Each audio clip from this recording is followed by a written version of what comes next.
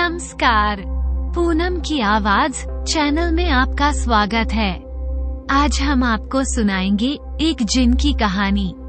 अगर आप हमारे चैनल पर नए हैं तो प्लीज़ हमारे चैनल को सब्सक्राइब करें, वीडियो को लाइक करें और शेयर करें। पंडित धनराज करौली के जाने माने जमींदार थे। करौली रियासत से तीन गाँवों की जमींदारी उनके नाम थी। स्वतंत्रता के बाद राज्य खत्म हो गए तो धनराज की जमींदारी भी खत्म हो गई। पर अब भी ईश्वर का दिया हुआ सब कुछ उनके पास था। पंडित धनराज के एक पुत्र और एक पुत्री, बस दो ही संतानें थी। पुत्र का नाम गौरीलाल और पुत्री का नाम कुसुम था। दोनों बच्चे पढ़ने में बहुत ही होशियार थे, इसी कारण धनराज को उनकी तरफ़ से कोई चिंता नहीं थी। धनराज के पास आलीशान मकान था, जिसमें 10-12 कमरे थे, सभी सुख सुविधाएँ थी, जो जमींदारों के यहाँ होती हैं। गौरीलाल ने इसी साल इंटर की परीक्षा पास की थी, और नगर पालिका में बड़े बाबू की नौकरी उसने हासिल कर ली थी पंडित धनराज की भी यही इच्छा थी, आगे पढ़ने की कोई ज़रूरत नहीं है, घर बैठे बिठाए नौकरी मिल गई इससे अच्छी बात और क्या हो सकती है? कुछ दिन बाद ही गौरी लाल के रिश्ते आने शुरू हो गए। धनराज ने ये काम अपनी पत्नी को सौंप दिया था और पत्नी ही उनकी अब कन्या देखने जाती थी। पर अभी तक उनकी पसंद की कोई बहू उन्हें नहीं मिल रही थी। गौरी को रिश्तों की कमी नहीं थी। सैकड़ों रिश्ते पसंद करने के बाद एक दिन उनकी पत्नी की खोज पूरी हुई, मथुरा की लता के रूप में। लता इतनी सुंदर और संस्कारों वाली लड़की थी कि गौरी लाल ने पहली नज़र में उसे पसंद कर लिया। धूमधाम के साथ गौरीलाल और लता की शादी हो गई। लता अपनी ससुराल करौली आ गई। शादी की पहली रात, मधुरात्रि की धूमधाम की रात गौरीलाल को नसीब नहीं हुई। सुहाग कक्ष में जाने के एन वक्त पर लता बीमार पड़ गई। पड़ोस की महिलाएँ उसे सुहाग कक्ष में छोड़ने जा रही थी, कि अचानक लता ज़ोर ज़ोर से कांपने लगी उसका चेहरा सफ़ेद पड़ गया और धड़ाम से नीचे गिरकर बेहोश हो गई। उसे अस्पताल में पहुँचाया गया, डॉक्टर इलाज करने लगे पर उसकी बीमारी का पता ही नहीं चल रहा था, कि आखिर उसे हुआ क्या था दूसरे दिन दोपहर को लता को होश आया, अपने आप को अस्पताल में देखकर, लता को बड़ा अचंभा हुआ। वह कहने लगी, मुझे क्या हुआ था, जो आप मुझे अस्पताल लेकर आ गए? उसने अपनी ननंद कुसुम से पूछा तो कुसुम ने बताया कि, भाभी, आप बेहोश होकर गिर गई थी, हमारे तो हाथ पैर ही फूल गए थे। तब उसकी सासू माँ ने पूछा कि बहू अब कैसी है? तो वह बोली माँ जी बिल्कुल ठीक हूँ थोड़ी कमज़ोरी है। तो उसकी सास बोली भगवान का लाख लाख धन्यवाद है बहू जो तू ठीक हो गई हम तो घबरा गए थे। कल शाम से घर के किसी प्राणी ने पानी भी नहीं पिया है। अब मैं घर चलूँ, खाना भी बनाना है और तुम्हारे ससुर जी को भी बताना है कि बहू की तबीयत में सुधार है, उन्हें भी चिंता हो रही होगी। ये कहकर वो कुसुम को लेकर घर चली गई। अब जब वह अपने घर गई तो एकांत पाकर जो गौरी अपनी पत्नी के पास आया, और उससे पूछा, कि अब तुम्हारी तबीयत कैसी है लता? तो लता बोली, जी, मैं बिल्कुल ठीक हूँ। समझ में नहीं आता कि मुझे हुआ क्या था। पहले तो कभी ऐसा नहीं हुआ लता ने भी लजाते हुए कहा तो गौरी ने पूछा, कुछ खाने को मन कर रहा है तो लेकर आऊँ? तो लता बोली, नहीं जी, मेरा मन नहीं है हाँ अगर अच्छा सा सेब मिल जाए तो ले आना गौरीलाल ने अस्पताल से बाहर जाकर सबसे पहले चाय पी, फिर बाहर खड़े ठेले वालों के पास सेब लेने पहुँचा। अभी सेब का मौसम नहीं था, इसलिए बाज़ार में सेब भी अच्छा नहीं आ रहा था। गौरी ने दो तीन ठेले वालों पर माल देखा, फिर आधा किलो सेब देखकर खरीदकर लता के पास पहुँचा। लता आँखें बंद करके लेटी हुई थी, उसके सिराने की तरफ़ पलंग पर दो बढ़िया किस्म के सेब रखे हुए थे। वह सोचने लगा कि यह सेब कौन दे गया लता को?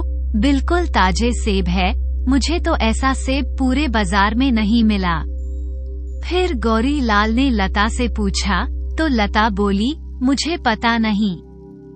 मैंने किसी को सेब रखते हुए भी नहीं देखा, लता ने सिबों को बड़े आश्चर्य से देखा।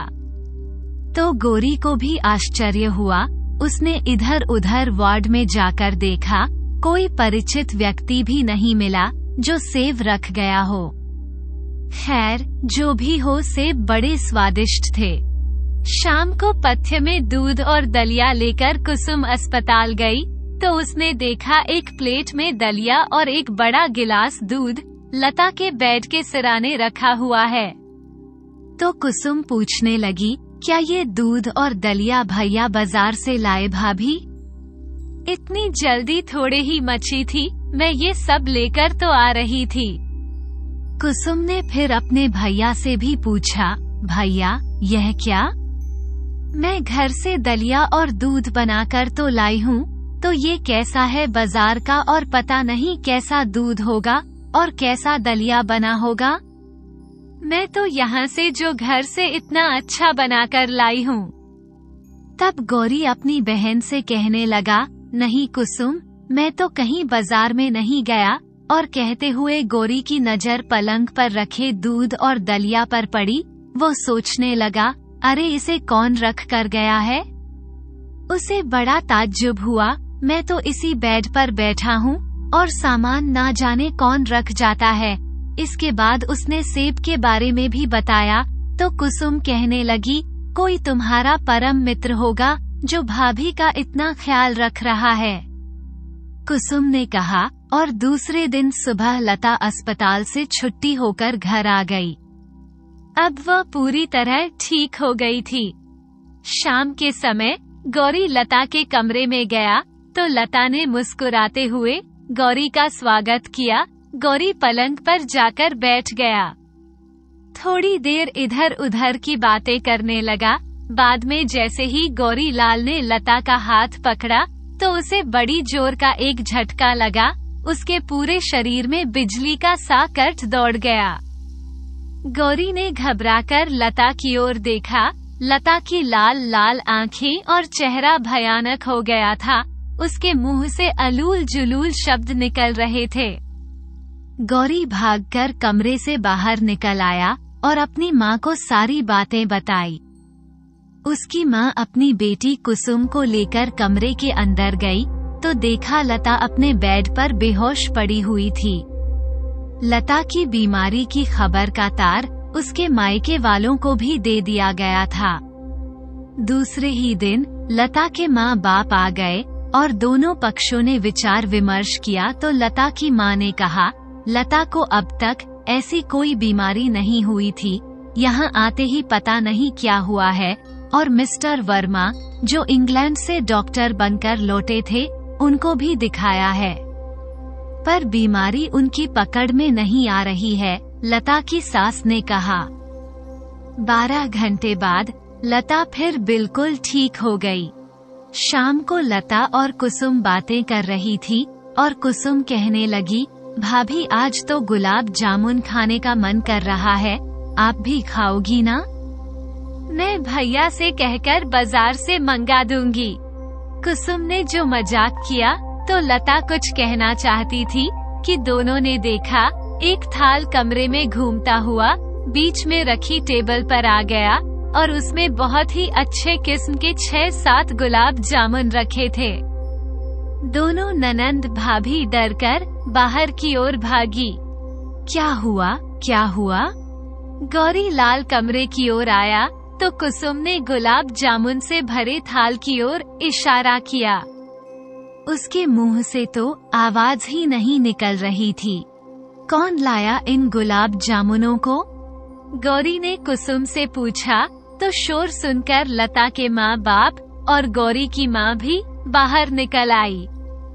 कुसुम ने गुलाब जामुन वाली बात सबको बता दी, सब दूसरे कमरे में आकर सलाह करने लगे। तो जो लता की माँ थी, वह कहने लगी, बहन जी, मुझे तो ये किसी भूत या जिन की करतूत मालूम होती है। लता की माँ ने भी अपना विचार रख दिया, तब गौरी की माँ कहने लगी कि देखो समदिन जी, आज तक तो इस घर में भूत जिन हमने नहीं देखा। तब तक पंडित धनराज भी आ गए थे, और दोनों समदिनों की बात उन्होंने सुन ली थी। वे बोले कि कोई भूत जिन नहीं होते, सब मन का वहम है, मैं नहीं मानता। हाँ अगर भूत मेरे लिए रबड़ी का दोना मंगा दे तो मैं भी मान जाऊँगा। अब पंडित धनजिया की बात पर सब लोग हंसने लगे। धनराज जी ने कुछ मजाकिया लहजे में कही थी, किंतु थोड़ी देर में ही इस हँसी मज़ाक पर रोक लग गई। सभी ने देखा, खुले दरवाजे से रबड़ी के पाँच छह दौना हवा में उड़ते हुए कमरे के अंदर आ गए और चारों ओर घूमकर टेबल के ऊपर धर गए। कमरे में मौजूद सभी लोगों के होश उड़ गए। महिलाओं की तो मारे डर के घिघी बंद गई, सभी लोग कमरे के बाहर निकल आए। सभी परिवार वाले जान चुके थे कि इस घर में किसी बुरी आत्मा का साया है लेकिन अभी तक उस बुरी आत्मा ने किसी को कोई नुकसान नहीं पहुँचाया था। ये भी सब जान गए थे। लता भी बीमार तभी होती थी, जब गौरी लाल उसके कमरे में जाता था। इसलिए गौरी लाल ने उसके कमरे में जाना छोड़ दिया। धनराज ने अपने मित्रों से सलाह लेकर कानपुर के एक प्रसिद्ध ओझा को बुलवाया और उस ओझा ने आते ही धनराज के पूरे मकान का निरीक्षण किया और कहा कि उनके घर पर एक जिन का साया है और वह उस जिन को अवश्य ही भगा देगा, लेकिन दक्षिणा उसे मोटी देनी होगी। धनराज ने कहा कि वह इस आफत से हमें बचा ले, हम उसे मुँह मांगी दक्षिणा दे देंगे। अब ऊपर की मंजिल पर उसे एकदम अलग कमरे में ठहरने को दे दिया। आधी रात का समय हुआ था। अपने कमरे में गौरी मीठी नींद सो रहा था कि उसे सर्दी लगने लगी। उसने खड़े होकर पंखा बंद किया। फिर सोने लगा। अभी आँख भी नहीं लग पाई थी कि पंखा फिर चलने लगा। उसने सोचा, शायद कुसुम चला गई होगी। वो फिर से पंखा बंद करने जा रहा था कि लाइट चली गई। वो खाट पर लेट गया। तभी उसकी निगाह छत की तरफ़ गई। पंखा अभी भी तेज गति से चल रहा था, वो पंखा की ओर देखता रहा। लाइट गए हुए 20 मिनट हो गए थे, पर पंखा अभी भी तेज गति से चल रहा था। अचानक गौरी लाल की खाट ज़मीन से पाँच फुट ऊँची उड़ी और कमरे के अंदर ही गोल गोल घूमने लगी। गौरी के मुँह से भय के कारण जोरदार चीख निकली तो वो खाट से कूद गया और कमरा खोलकर तेज़ी से अपने पिताजी के कमरे की तरफ़ भागा। गौरी की चीख सुनकर पूरा परिवार जाग गया। सभी नींद से जागकर बैठ गए और अपने अपने कमरों से बाहर निकल आए। अब वो ओझा भी कुछ मंत्र पढ़ते हुए मकान के चौक में आ गया था। अचानक ही बादल कड़कने की आवाज़ सुनाई दी और पानी के स्थान पर खून के छींटे पड़ने लगे। सब भीतर जाओ, ओझा ने कहा, और स्वयं बरामदे में बैठकर मंत्र जाप करने लगा। खून की बरसात के छींटे अब भी पड़ रहे थे। सभी परिवार वाले एक जगह इकट्ठा होकर भयभीत निगाहों से एक दूसरे की तरफ़ देख रहे थे। मकान, चौक में, छत पर, बरामदे में चारों तरफ़ खून ही खून दिखाई दे रहा था।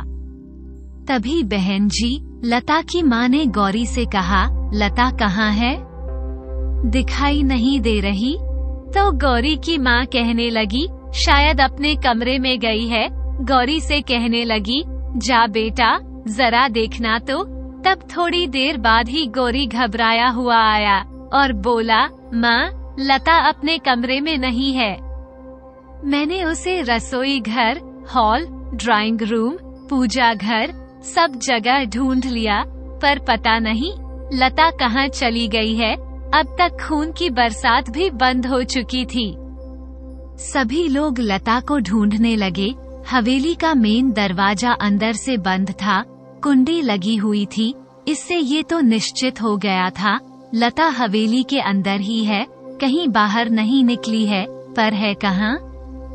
हवेली में सत्रह अठारह कमरे थे, ओझा सहित परिवार के सभी सदस्य लता को ढूँढने में लग गए। कई कमरे तो वर्षों से बंद पड़े थे, उनमें अभी भी ताले ज्यों के त्यों लटक रहे थे। सब जगह देखा, लता कहीं भी नहीं मिली, ऊपर छत पर भी एक कमरा था, जिसमें विशेष मेहमानों को ठहराया जाता था। सब लोग दौड़कर छत पर गए वो कमरा खुला हुआ था। लता पलंग पर चित लेटी हुई थी। उसके शरीर के कपड़े अस्त व्यस्त हुए पड़े थे और उसकी दोनों आँखें बंद थी और उसके चेहरे पर संतुष्टि के भाव नज़र आ रहे थे। लता की माँ ने आगे बढ़कर लता के कपड़े ठीक किए, तब तक सभी लोग कमरे में आ चुके थे। लता की आँखें बंद थी। लता, आँखें खोलो। लता की माँ कहने लगी। लता ने आँखें खोल दी, उसकी माँ ने सहारा देकर लता को बैठाया, लेकिन लता की आँखें लाल हो रही थी। उसने परिवार के लोगों की तरफ़ देखकर गौरी पर निगाह टिका दी और बोली, गौरी, तू दूसरी जगह शादी कर ले। जितना धन चाहिए मुझसे ले ले, लता मेरी है लता के मुँह से टूटे फूटे शब्द निकल रहे थे। सभी महिलाएँ डरकर एक कोने में खड़ी हो गई। तो धनराज जी पूछने लगे कि, तुम कौन हो? और क्या चाहते हो? क्यों मेरे पुत्र वधु को परेशान कर रहे हो? तब तक ओझा भी कमरे में दाखिल हो चुका था।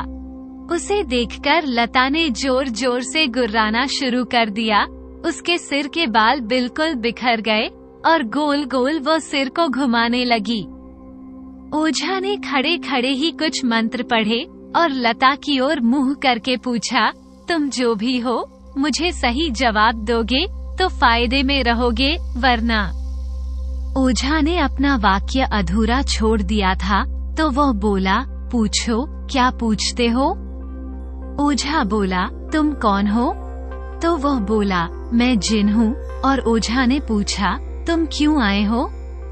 तो वह कहने लगा, लता पर मेरा दिल आ गया, इसलिए आया हूँ। तो वह कहने लगा, ओझा, लेकिन लता गौरी की विवाहिता पत्नी है, तुम्हें उसे छोड़ना होगा। जिन बोला, हरगिज नहीं, गौरी दूसरी शादी कर ले, जितना धन चाहिए, मुझसे ले ले। तो ओझा कहने लगा, तुम जिन नहीं मलेच हो मैं तुम्हें इसका दंड दूँगा। तो लता भयंकर हँसी हंसने लगी। इसके बाद लता ने अपना सिर पकड़ लिया और बेहोश हो गई। सभी घर वाले चिंतित थे। लता कितनी सुशील और समझदार बहू है, पर पता नहीं क्या विधि का चक्कर है किसमें वो फंस गई है। इस बीमारी से कैसे छुटकारा मिल सकता है? ये सब सलाह मशवरा करने लगे। और सब ड्राइंग रूम में इकट्ठा हो गए। लता पर एक बुरे जिन का साया है, ओझा कहने लगा, और जिन को भगाना हर किसी के लिए आसान नहीं है। ये तो गनीमत है कि धनराज ने उस ओझा को बुला लिया, वरना और दूसरा ओझा या तांत्रिक के बस की यह बात नहीं थी। वो कुछ ही दिनों में जिन को लता पर से हटा देंगे। इसके बाद उन्होंने हिदायत देते हुए कहा कि लता को किसी भी सूरत में अकेला नहीं छोड़ा जाए। लता के पास हमेशा कोई ना कोई बना रहना चाहिए, और यह ज़िम्मेदारी गौरी को दे दी गई। सोते, जागते, हर घड़ी, गौरी साय की तरह, लता के पास रहने लगा। घर की औरतें तो जिनके भय से, लता से एकांत में, मिलने से भी घबराने लगी। दो दिन तक कोई घटना नहीं हुई, लेकिन तीसरे दिन लता बाथरूम में थी और गौरी कुछ ही दूरी पर कुर्सी डालकर अखबार पढ़ रहा था कि उसे एक व्यक्ति बाथरूम की तरफ़ जाता हुआ दिखाई दिया। सफ़ेद रंग के शानदार कपड़े पहने, वो पुराने जमाने के राजा महाराजा जैसा दिख रहा था तो गौरी ने उसे टोका, हेलो, किससे मिलना है? तो उसने साफ़ सपाट स्वर में कहा, लता से मिलना है। गौरी ने कहा, अभी वो बाथरूम में है, आप कौन है, और लता को कैसे जानते हैं? तो वो कहने लगा, तुम्हारे लिए इतना ही जान लेना काफ़ी है, लता से मुद्दत से, जो वो मेरी प्रेमिका है, और वो मुझे बाथरूम में भी मिल सकती है। ये कहकर वो आदमी बाथरूम की तरफ़ बढ़ने लगा। गौरी बोला, बदतमीज, तुझे बोलने की भी सभ्यता नहीं है, जानते नहीं हो, लता, मेरी विवाहिता पत्नी है। गेट आउट मेरे घर से दफ़ा हो जाओ, वरना धक्का देकर बाहर निकाल दूँगा। गौरी ने उसे फटकार लगाई तो वह व्यक्ति भयानक हँसी हंसता हुआ बोला, अगर विवाह करने से ही कोई किसी की पत्नी बन सकती है तो मैं भी लता के साथ शादी करूँगा। आठ दिन बाद दिवाली है। उस दिन मैं बारात लेकर आऊँगा। ध्यान रखना। ये कहकर वो आदमी लता के बाथरूम तक पहुँच गया और जैसे ही उसने किबाड़ के ऊपर अपना हाथ रखा दरवाज़ा अपने आप खुल गया। उसने भीतर घुसकर किवाड़ बंद कर लिया। गौरी ने चिल्लाकर उसे रोकना चाहा, पर उसने गौरी की कोई बात नहीं सुनी। गौरी की चीख सुनकर धनराज बाहर आए और पूछने लगे, क्या हुआ गौरी? तो वह बोला, पिताजी, वह आदमी लता के बाथरूम में घुस गया। गौरी हकला रहा था। तो धनराज जी पूछने लगे, कौन और यह कहते हुए बाथरूम की तरफ़ बढ़े? तब तक घर के अन्य सदस्य भी बाहर निकल आए और धनराज के पीछे पीछे बाथरूम की तरफ़ बढ़ने लगे। गौरी की माँ ने आगे बढ़कर बाथरूम का दरवाज़ा खटखटाया तो किवाड़ खुल गया। सबने देखा लता बाथरूम में बेहोश होकर पड़ी है। उस आदमी का, जो गौरी के सामने ही बाथरूम में घुसा था, कहीं अता पता नहीं था। तब तक ओझा भी अपने कमरे से बाहर निकल आया था। धनराज ने उसे सारी स्थिति से अवगत कराया तो वो आदमी दिवाली के दिन बारात लेकर आने की धमकी देकर गया है। ये भी गौरी ने उस ओझा को बता दिया। ओझा ने दो मिनट रुककर कहा, यह कोई शक्तिशाली और बदमिजाज जिन है, इसके लिए मुझे आज ही एक विशेष प्रकार का अनुष्ठान करना पड़ेगा। यदि इस अनुष्ठान से भी शांत नहीं होता है तो फिर आपको ओमनाथ तांत्रिक को बुलाना पड़ेगा। जो उज्जैन में महाकाल मंदिर के पास रहता है। उसे कोई भी बुरी शक्ति हरा नहीं सकती। दीपावली के आठ दिन शेष हैं, तब तक विशेष सावधानी बरतें। लता को अकेली ना छोड़े। अब आप सब अपने अपने कामों पर जाओ और मैं भी कुछ पूजा पाठ करने जा रहा हूँ। सवेर को कुछ लोग धनराज जी से मिलने आए जो उन्हीं के गाँव के थे। और धनराज को ही जमींदार मानते थे। गाँव में भी यह खबर पहुँच गई थी कि कोई बुरी आत्मा जमींदार साहब को परेशान कर रही है और वे लोग हालचाल पूछने चले आए थे। धनराज ने सभी को कुर्सी डालकर चौक में बिठाया और उनको नाश्ता पानी कराया। नाश्ता करने के बाद सभी लोग उस दिन के बारे में चर्चा करने लगे। एक गाँव वाला कहने लगा कि बाबूजी, आप सीधे साधे हो इसलिए वो जिन आपको परेशान कर रहा है अगर मुझे मिल जाए तो मैं तो उसे मज़ा चखा दूँ। उसके बाद दूसरा ग्रामीण बोला बाबूजी, आप कोई चिंता मत करिए हम सब संभाल लेंगे ये कहकर उस आदमी ने अपना तंबाकू का बटुआ निकाला और जैसे ही उसने बटुए को खोलकर देखा उसमें से तीव्र गंध फैलने लगी। बटुए में मानव की लीद रखी हुई थी। उसने बटुओं को लेकर नाली में फेंक दिया। उसके बाद उसके दूसरे साथी से तंबाकू मांगी। दूसरे ने भी बटुआ निकाला तो उसे खोलकर देखा तो उसमें भी लीद रखी हुई थी। ग्रामीणों के चेहरे सफ़ेद पड़ गए। अब तो सभी अपनी अपनी जेब टटोल कर देखने लगे। किसी की जेब में किसी के बटुए में, किसी के बीड़ी के मंडल में मानव का मल रखा हुआ था। वातावरण में तेज दुर्गंध फैलने लगी। सभी लोग जो बैठे हुए बातें कर रहे थे, भयभीत होकर कांपने लगे। सभी ग्रामीण बहाने बना बनाकर बाहर की ओर खिसकने लगे। अचानक एक तेज आवाज़ ने सभी को चौंका दिया। छोड़ो मुझको, छोड़ दो। अरे बचाओ, कोई तो बचाओ। यह मुझे मार देगा, मेरी जान ले लेगा। निश्चित रूप से यह आवाज़ उस ओझा की थी, वो ओझा चिल्ला रहा था, छोड़ो मुझे, छोड़ दो, मेरी सांस घुट रही है, अरे बचाओ, कोई मेरी जान बचाओ, यह मेरी जान लेना चाहता है, मैं जा रहा हूँ, फिर नहीं आऊँगा, मुझे छोड़ दो।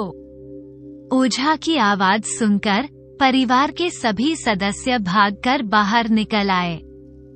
उन्होंने देखा कि एक व्यक्ति जिसने सफ़ेद कपड़े पहने हुए थे, ओझा की गर्दन पकड़कर दबा रहा था और वो बहुत ही भयानक हँसी हँसते हुए कहने लगा, बारात लेकर आऊँगा।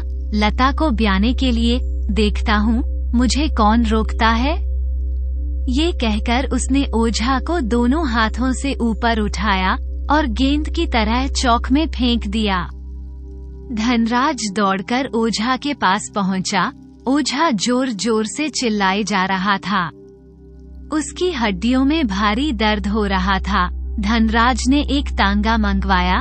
उसमें बैठाकर गौरी उसे अस्पताल ले गया। इधर वह जिन भी ना जाने कहाँ गायब हो गया, सभी लोग धनराज के पीछे पीछे ड्राइंग रूम में आ गए। और आज की हालात पर विचार करने लगे। आज की घटना ने सभी को चिंता में डाल दिया था। बाबा ओमदास को बुलवाया। उन्होंने कल आने का वादा किया। धनराज ने अपने घर वालों को सूचना दी। उसका पता कहाँ से प्राप्त हुआ?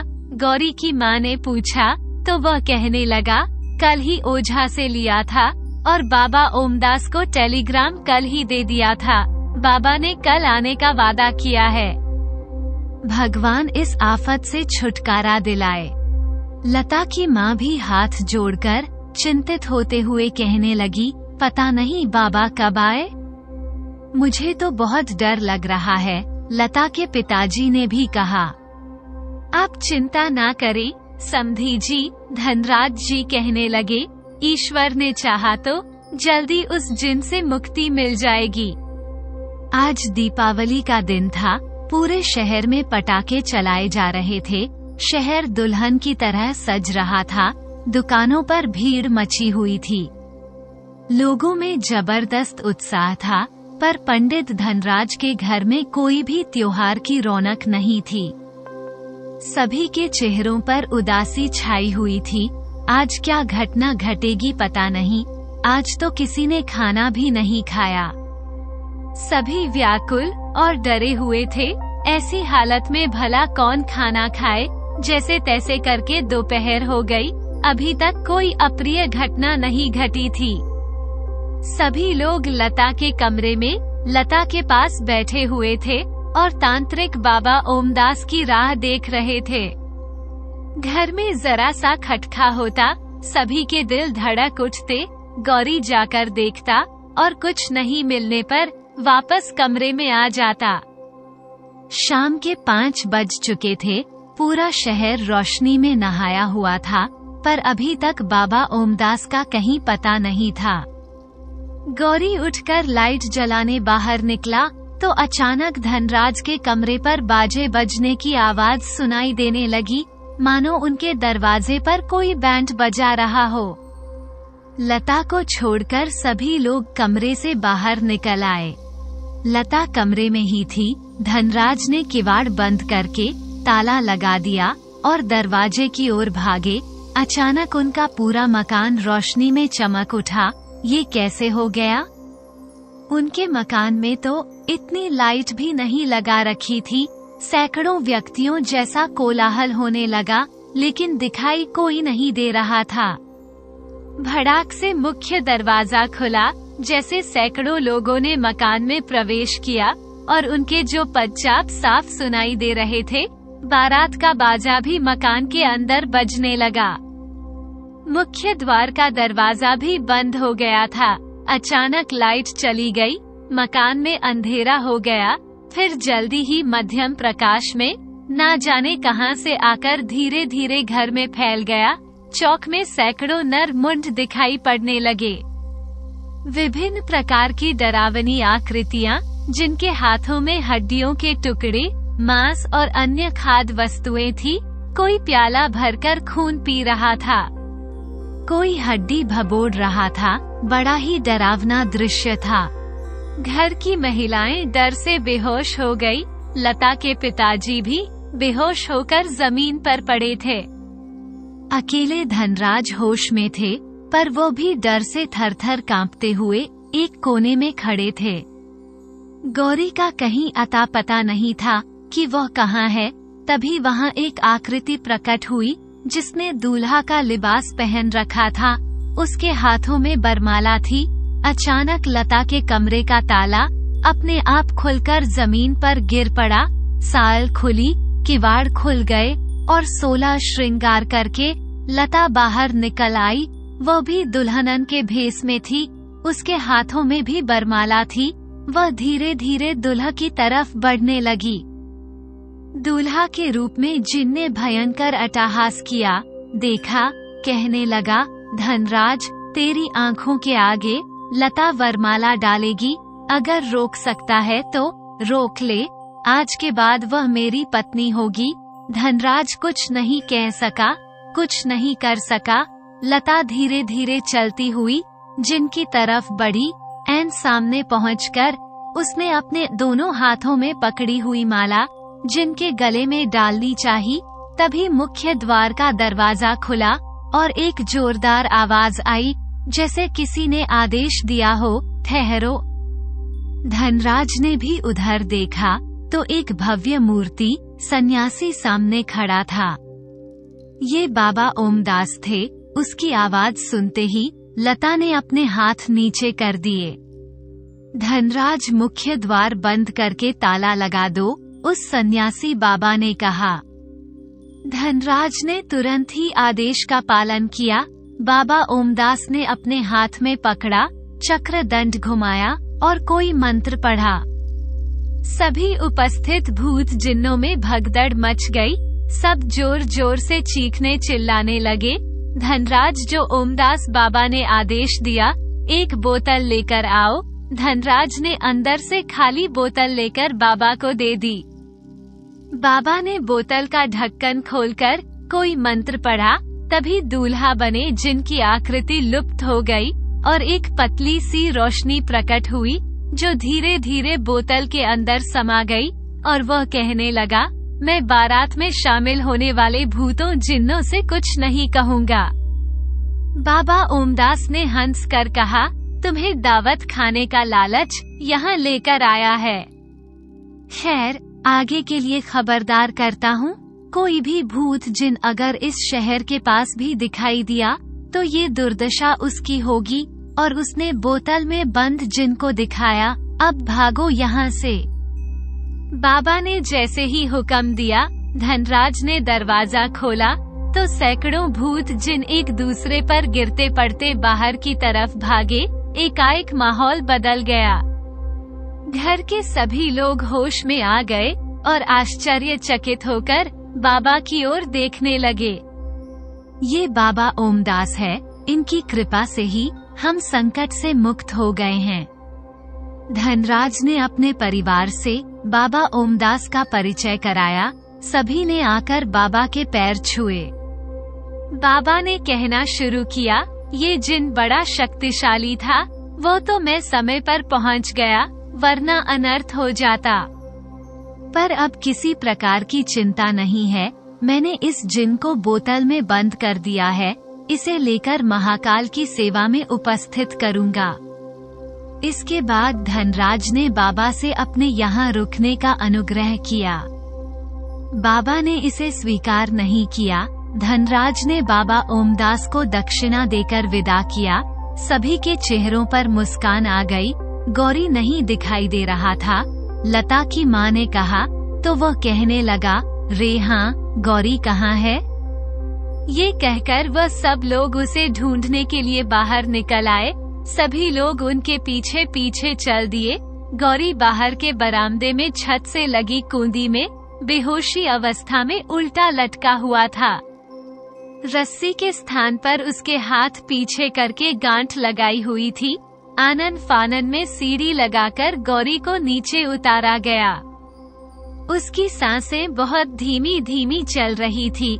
गौरी को अस्पताल ले जाया गया। जहाँ हफ़्ता भर में गौरी ठीक हो पाया। बाद में गौरी की नगर पालिका में बड़े बाबू की नौकरी लग गई और उसके और लता के दो बच्चे भी हैं। दोस्तों, अगर आपको ये कहानी पसंद आई हो तो प्लीज़ हमारे चैनल को सब्सक्राइब करें, वीडियो को लाइक करें और शेयर करें। कहानी को अंत तक सुनने के लिए आपका धन्यवाद।